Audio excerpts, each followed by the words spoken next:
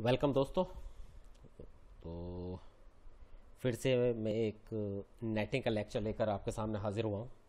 आप सब भी सोच रहे हो कि नेटिंग के कितने ज़्यादा लेक्चर्स तो मैं आपको बताना चाहूँगा कि जब आप सिक्योरिटी में काम कर रहे होंगे ये तो आप देखेंगे कि सबसे ज़्यादा जो इश्यूज़ आते हैं, वो नेटिंग आईपीसेक या फिर remote access VPN maximum times आप देखें कि इसी इसी में ही प्रॉब्लम होगी कहीं ना कहीं।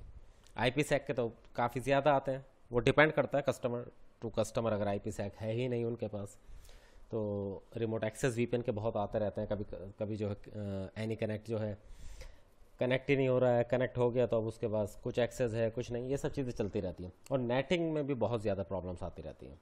ठीक है? तो मेरी पूरी कोशिश है कि मैं जो रियल टाइम जो सिनेरियोज आते हैं हमारे सामने या रियल टाइम जो इश्यूज़ हम लोग फेस करते हैं, वो सब मैं आपके सामने रखने की कोशिश करूँ। ठीक है? तो आज जो टास्क है मेरे पास वो ये है और मैं मैं आप लोगों को सजेस्ट करूँगा कि इस लेक्चर को तो आप दो बार देखें। ठीक है? क्योंकि ये बहुत लोगों की समझ में नहीं आती है बात। ठीक है? कि किस तरीके से नेटिंग काम करेगी।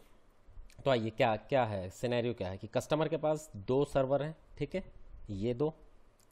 और वो चाहता है कि टेलनेट सर्विस अलाउ कर दी जाए। अब ये टेलनेट के अलावा कुछ भी हो सकता है। लेकिन मेरे लिए टेलनेट की टेस्टिंग ईजी है तो मैं इसलिए टेलनेट ले रहा हूँ। फ्रॉम आउटसाइड नेटवर्क ठीक है? But the problem is customer is having single public IP customer के पास सिर्फ़ यही एक पब्लिक आईपी है।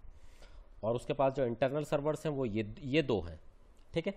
तो बाहर से उसे टेलनेट सर्विस एक्सेस करानी तो इसको कैसे किया जाए? इसका प्रॉपर करने का तरीका है क्या? वो मैं आपको दिखाना चाहूँगा।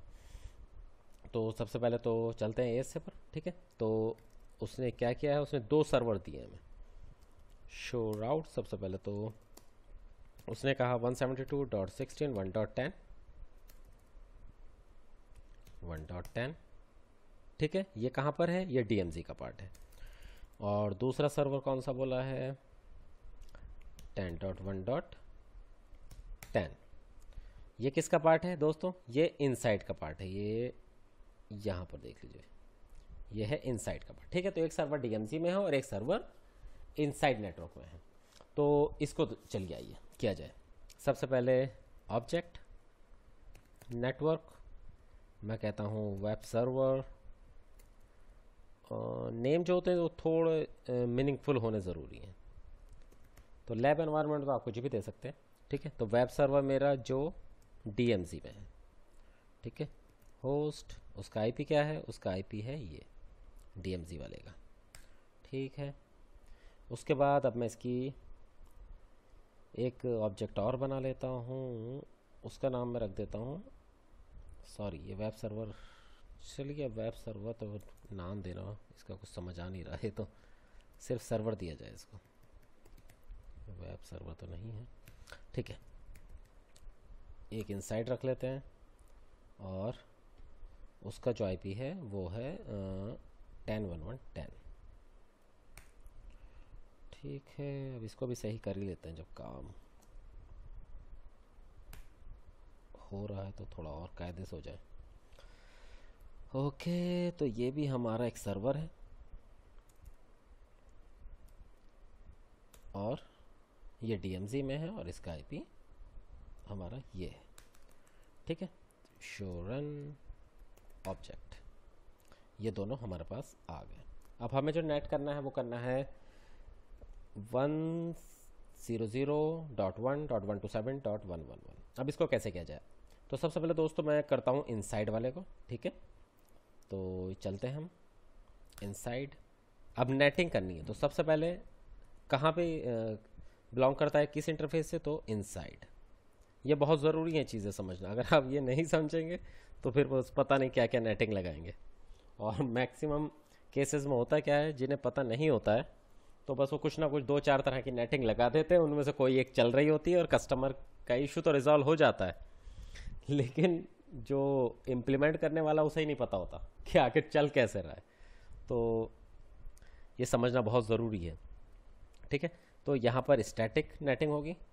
आईपी जो है one zero zero dot one two seven dot one dot triple one अब दोस्तों मैं यहाँ एंटर नहीं कर सकता, क्योंकि अगर मैंने यहाँ एंटर कर दिया तो फिर उस वाले ये जो मेरे पास सर्वर डीएमजी में उसकी नेटिंग में कैसे करूँगा? ठीक है? तो यहाँ मैं इसको क्या करूँगा? मैं इसको पोर्ट बेस लेकर चलूँगा। उसके लिए मैं सर्विस डिफाइन करूँगा। ठीक है? सर्विस कौन सी सर्विस टीसीपी सर्विस ठीक है? उसके बाद मैं जो रियल आईपी है सॉरी रियल पोर्ट है, वो मैं डिफाइन करूँगा। तो मैं कौन सा पोर्ट ओपन करना चाहता हूँ? ट्वेंटी थ्री ठीक है? फिर मैप्ड पोर्ट जो बाहर से यूज़र ये देखिए आप, ये कह भी रहा है मैप्ड पोर्ट ठीक है? तो जो वहाँ से यूज़र हिट करे जिस पोर्ट पर तो वो भी मैं ट्वेंटी थ्री रख लेता हूँ, कोई बड़ा मसला नहीं है, ठीक है? तो मैंने क्या किया? ट्वेंटी थ्री को ट्वेंटी थ्री के साथ मैप कर दिया, ठीक है? अब, शोरन नेट भी देख लीजिए, थोड़ा समझ आ जाएगा। ये हो गया, ठीक है? Server inside. अब मैं सर्वर आउटसाइड की तरफ़ चलता हूँ। ओके। नेट। अब ये नेटिंग कैसे की जाए? देखिए, ये डीएमसी का पार्ट है तो अब आपको यहाँ डीएमसी डिफाइन करना है। Outside, okay, static. आईपी मेरा अभी भी वही रहेगा, क्योंकि सिंगल आईपी है मेरे पास। सर्विस, कौन सी? TCP service. अब दोस्तों, यहाँ ये पूछता है, रियल पोर्ट। ये देखिए। तो रियल पोर्ट तो मुझे अभी भी वही रखना होगा। रियल पोर्ट का मतलब जो एक्चुअल सर्वर के लिए आएगा। अभी मैं उसको समझाता हूँ आपको, ठीक है? तो यहाँ 23 उसके बाद मैप्ड पोर्ट जो बाहर से एक्सेस करे। तो हमने पिछले सर्वर को 23 दे दिया था। तो जब कस्टमर सॉरी जब बाहर जो भी यूज़र्स हैं, वो एक्सेस करेंगे कस्टमर के सर्वर को और इस आईपी का यूज़ करके और वो बाहर से 23 पर हिट करेंगे तो वो उस सर्वर पे चले जाएँगे जो इनसाइड में रखा हुआ है, लेकिन ये डीएमसी वाला है। तो इसके लिए हम करते हैं टू थ्री टू थ्री दे देते हैं हम, ठीक है? और एंटर अब मैं आपको एक बार और बता देता हूँ, ये हुआ क्या है, ठीक है? तो ये है, ठीक है? ये मेरा इनसाइड में था तो ये मैंने इनसाइड डिफाइन किया। उसके बाद ये मैंने आईपी क्योंकि मेरे पास यही है और कोई ऑप्शन नहीं है। उसके बाद टेलनेट को मैंने टेलनेट पोर्ट के साथ, जो वेल नोन पोर्ट है, उसके साथ मैंने इसकी नेटिंग कर दी। लेकिन जब मैं डीएमजी वाले सर्वर को नेटिंग करने के लिए गया तो ये पोर्ट तो ऑलरेडी यूज़ हो चुका है, क्योंकि जब बाहर से कोई भी यूज़र इस आईपी और 23 पोर्ट पे हिट करेगा तो ये 23 बाहर से आएगा, वो इसको ट्रांसलेट करेगा इंटरनल 23 में, और ये 23 जो है, जो मेरा प्राइवेट आईपी है इनसाइड का टेन वन वन टेन उस पर जाकर ओपन हो जाएगा ये वाला पोर्ट ठीक है? लेकिन जब डीएमसी की मैं बात करता हूँ तो इस इस केस में क्या होने वाला है? इस केस में दोस्तों, बाहर से कस्टमर जो बाहर से जो यूज़र है, वो हिट करेगा टू थ्री टू थ्री पर। ठीक है? ये ए से उसको ट्रांसलेट कर देगा टेलनेट में। और ये टेलनेट कहाँ पे जाके ओपन हो जाएगा? डीएमजी यानी इस वाले सर्वर के लिए। तो आईपी बाहर से सेम यूज़ किया जाएगा। सिर्फ़ अलग अलग पोर्ट्स पे हिट किया जाएगा और इंटरनल वो टेलनेट सर्विस ही प्रोवाइड करेगा। ठीक है? अच्छा अब एक चीज़ और, अब ये आउटसाइड से एक्सेस होगा तो ये तो आप सब समझते ही हैं कि आउटसाइड से एक्सेस कराने के लिए आपको एसीएल चाहिए। बिना एसीएल का तो काम बनने वाला नहीं, क्योंकि आउटसाइड ज़ीरो सिक्योरिटी लेवल ठीक है तो मैं एक ए भी लगा देता हूँ। एक बार ए भी आप देख लीजिए कि किस तरीके से आउट टू इन इसका नाम दे देता हूँ मैं। उसके बाद परमिट और टीसीपी सर्विस मुझे यहाँ देनी है। ठीक है, और यहाँ एनी और डेस्टिनेशन तो अगर आप डी के लिए दे रहे हैं तो 172.16.1.10 इक्वल तो दोस्तों टी सी टीसीपी एनी कुछ गड़बड़ हुआ है क्या? ओके यहाँ होस्ट आएगा, क्योंकि एक ही आईपी है ना तो यहाँ होस्ट ठीक है? उसके बाद इक्वल पोर्ट 23 ठीक है? ये आपने डिफाइन कर दिया। अब दूसरे के लिए क्या करेंगे आप? एनी आएगा होस्ट आएगा, उसके बाद ten one one ten equal अब दोस्तों, यहाँ क्या पोर्ट दिया जाएगा? देखिए इंटरनल पोर्ट जो है, वो हमने दोनों जगह 23 दिया है तो यहाँ भी आपको 23 ही देना है। आई होप ये बातें आपको समझ आ रही होंगी। दोस्तों, अगर कुछ भी इसमें डाउट है या कुछ भी आपको समझ नहीं आ रहा तो प्लीज़ आप मुझे बता दीजिएगा। मैं कोशिश करूँगा कि और उसे बेहतर अंदाज में जो है एक्सप्लेन किया जाए। ठीक है? आप देख सकते हैं यहाँ दोनों ही ट्वेंटी थ्री क्योंकि नेटिंग के टाइम पर मैंने जो रियल पोर्ट दिए थे, वो दोनों जगह ही ट्वेंटी थ्री दिए थे। लेकिन मैप्ड जो था, वो एक जगह ट्वेंटी थ्री दिया था और एक जगह टू थ्री टू थ्री दिया था। ठीक है? अब इसको हम इम्प्लीमेंट कर देते हैं एक्सेस ग्रुप की हेल्प से और उसके बाद एसीएल का नाम आ जाएगा, फिर डायरेक्शन आ जाएगी और इंटरफेस हमारा आउटसाइड ही रहेगा, क्योंकि आउटसाइड से होगा। ठीक है? अब आइए, अब इसको एक बार टेस्ट कर लेते हैं। क्या चीज़ें चल भी रही हैं? तो ये मैं इंटरनेट पर आ गया।